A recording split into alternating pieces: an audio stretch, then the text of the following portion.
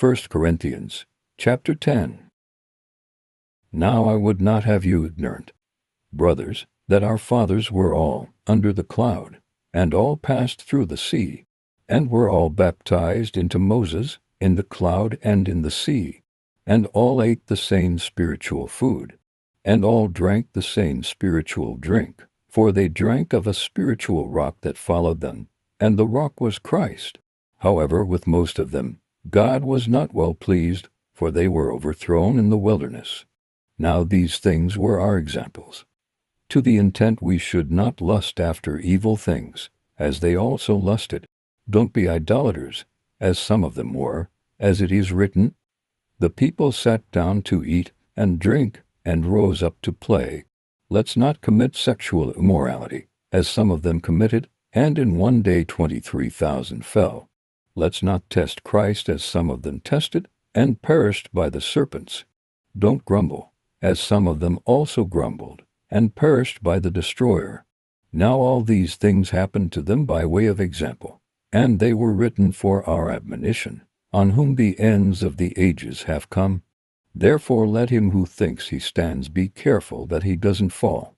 No temptation has taken you except what is common to man. God is faithful who will not allow you to be tempted above what you are able, but will with the temptation also make the way of escape, that you may be able to endure it.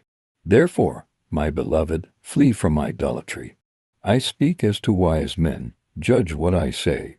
The cup of blessing, which we bless, isn't it a sharing of the blood of Christ?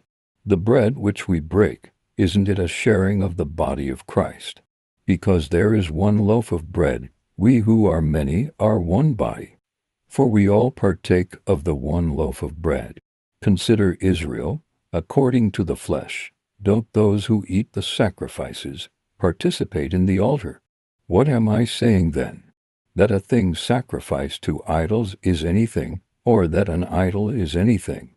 But I say that the things which the Gentiles sacrifice, they sacrifice to demons, and not to God. And I don't desire that you would have fellowship with demons. You can't both drink the cup of the Lord and the cup of demons.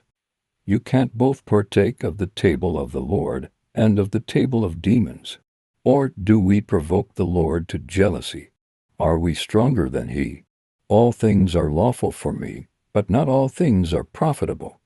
All things are lawful for me, but not all things build up. Let no one seek his own, but each one his neighbor's good. Whatever is sold in the butcher shop, eat, asking no question for the sake of conscience. For the earth is the Lord's, and its fullness. But if one of those who don't believe invites you to a meal, and you are inclined to go, eat whatever is set before you, asking no questions for the sake of conscience. But if anyone says to you, This was offered to idols, don't eat it for the sake of the one who told you, and for the sake of conscience, for the earth is the Lord's, with all its fullness. Conscience, I say, not your own, but the other's conscience. For why is my liberty judged by another conscience? If I partake with thankfulness, why am I denounced for something I give thanks for? Whether therefore you eat, or drink, or whatever you do, do all to the glory of God. Give no occasion for stumbling, whether to Jews, or to Greeks, or to the assembly of God, even as I also please all men in all things, not seeking my own profit, but the profit of the many, that they may be saved. Thank you for watching. Please like, subscribe, hit the bell, and share.